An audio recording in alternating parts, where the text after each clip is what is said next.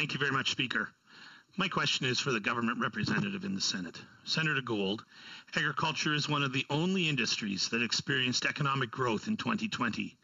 While industries across the country saw a decline by 5%, agriculture grew by 7%. Agriculture has certainly proved its resilience time and time again during this challenging period. Last week, the finance minister announced the 2021 budget, and I was pleased to hear agriculture and rural communities will be supported in key matters such as broadband infrastructure and support for temporary foreign workers. That said, I'm curious to learn how much, uh, learn more about how the government plans to encourage continued growth in this industry.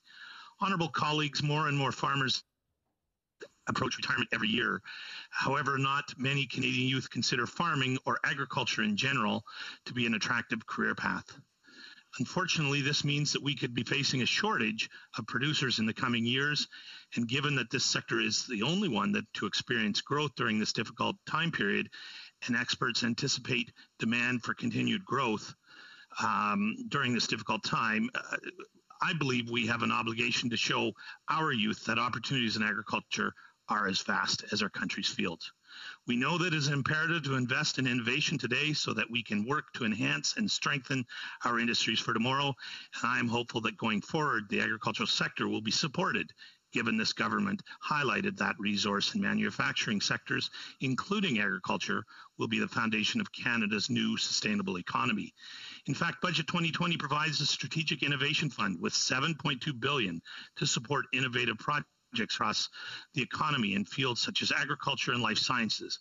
Senator Gold, my question today is this. Of the 2.2 billion, how much will be allocated, allocated to support agriculture and encourage growth in this very important sector? Senator Gold.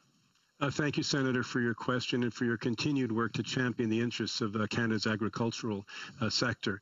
Uh, government well, knows well that the uh, agriculture and agri-food sector plays a, and can play and does play a key role in Canada's economy and can play a key role in its recovery uh, in building a sustainable and innovative future. Thanks also for your advance notice of the question. So it allowed me to inquire with the government on the details of the $2.2 billion strategic innovative fund and how it'll be divided divided up. And I've been advised as follows there are no sector specific earmarks in the fund.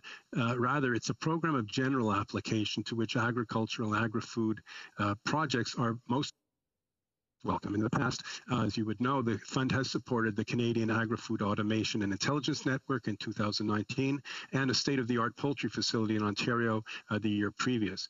Um, and it would be wonderful, and indeed, uh, perhaps, uh, Honourable Senator, you have uh, a unique visibility on certain initiatives that could be presented to the Strategic Innovative Fund to engage young people in agriculture, and I'm sure that they would be most welcome, uh, welcome and warmly received.